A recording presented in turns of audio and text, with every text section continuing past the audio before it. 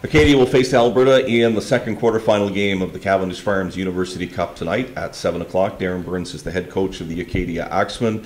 Uh, it's always tough getting ready for an opponent that you don't see uh, through the regular season. Just some thoughts on Alberta and, and what people can expect to see from this team. Well, I think they're you know an extremely well skilled team uh, that's big and can skate. Uh, you know, play you know with a real good offensive edge. Uh, they like to play puck control. Um, a little bit different than what uh, fans would see in our league. Uh, I think our league's a little bit more of, uh, you know, hammering the puck out and chasing it down, where you know they like to keep the puck, and uh, you know, so it's it's a situation where obviously there's lots of video, uh, lots of practice time leading up to it, and uh, you know they're a good sound team, but you know, as I've said before here in the last couple weeks, we're we're used to facing stiff competition in the AUS. We know we're gonna have some stiff competition uh, against Alberta, and we'll be ready to roll. You said from the very beginning of the season that Acadia was not going to be an offensively blessed team.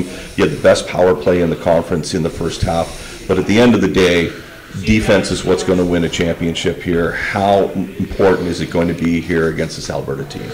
Well, we we've talked like we have to be perfect, and uh, no one's going to be perfect, but you got to strive to be perfect defensively, and that's what we've talked about. And uh, I think it's a it's a blend and a mix of not playing on your heels. Like we have to play with energy. We got to get pucks in. We got to forecheck, uh, but we've got to be extremely defensively responsible. So um, people know that. I mean, we played five games since uh, our league got started back. Uh, I think we had four one goal games and we lost a two nothing empty netter. Uh, love what our guys have done. They've been extremely well structured. They've did what they've been asked to do. They competed extremely hard. So from a coaching perspective, that's all you can ask your team to do. And we've had a chance to win every game. Uh, you're right. Yeah, you know we do have to to make sure we're putting every puck we can to the net and uh, forcing everything we can to the net to try and score goals. And uh, you know we, we know we're we're smart guys. We know what uh, we have to do to to be able to try and come out on top. And we've practiced it. And uh, again, it's controlling what you can control, which is always the defensive side of the puck. And uh, that's what we you know intend on doing coming into tonight.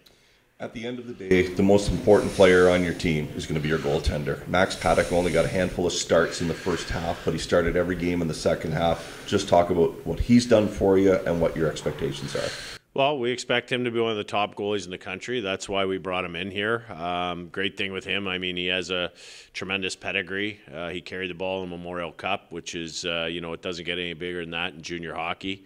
Uh, he did it as a young kid and did an outstanding job. Uh, his family background, his pedigree is all about athletics. So, uh, you know, he's been exposed to, to, high level performance all his life. Uh, he's a calming presence. Uh, you know, we are going to need a huge game out of him and a huge tournament out of him uh, at the end of the day, I mean, our guys love him. Uh, he's an extremely well respected guy, has a quiet confidence and a quiet leadership about him. And uh, I think that's, uh, you know, part and parcel why we have played well since we got started back because of him in the net and the respect factor our guys for him. And we've got to make sure, you know, that we're insulating him too. This can't all be, you know, left to him. We've got to play hard as a group.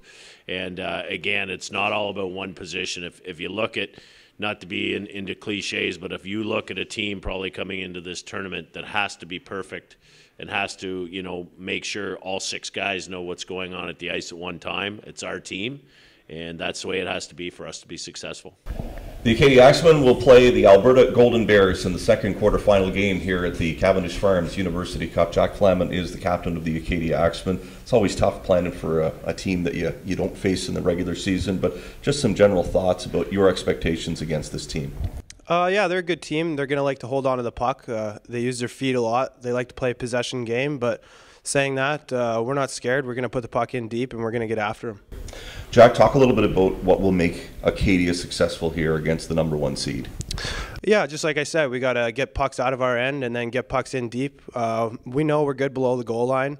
Uh, getting pucks low to high, pucks to the net. So we got to stick to our game plan, and that's just about that having not played for three weeks, uh, obviously it gives your team a chance to heal here and be ready for the games, but you haven't played for three weeks. How important is the first five to 10 minutes of this hockey game? Yeah, I, mean, the first shift is huge. You got to get out there, get your feet moving, uh, get a body, get yourself involved right away. So uh, we're going to stress that first shift, first five minutes, first period, but after that, there's no excuses. Um, we're gonna we're gonna bring it every shift Two years ago, obviously, one day, and you didn't even get to play a game at the University Cup in Halifax because of the pandemic. Uh, what does hosting this, not only for Acadia, but right on the campus, mean to you and, and your teammates? It's a it's a incredible honor and, and honestly a, a huge privilege. We could feel the buzz in the air coming to the rink this morning, and uh, it's just a great feeling seeing all these other teams come to our rink. So there's going to be some good hockey here this weekend. Jack Flaman is the captain, and he will be in the lineup against Alberta tonight.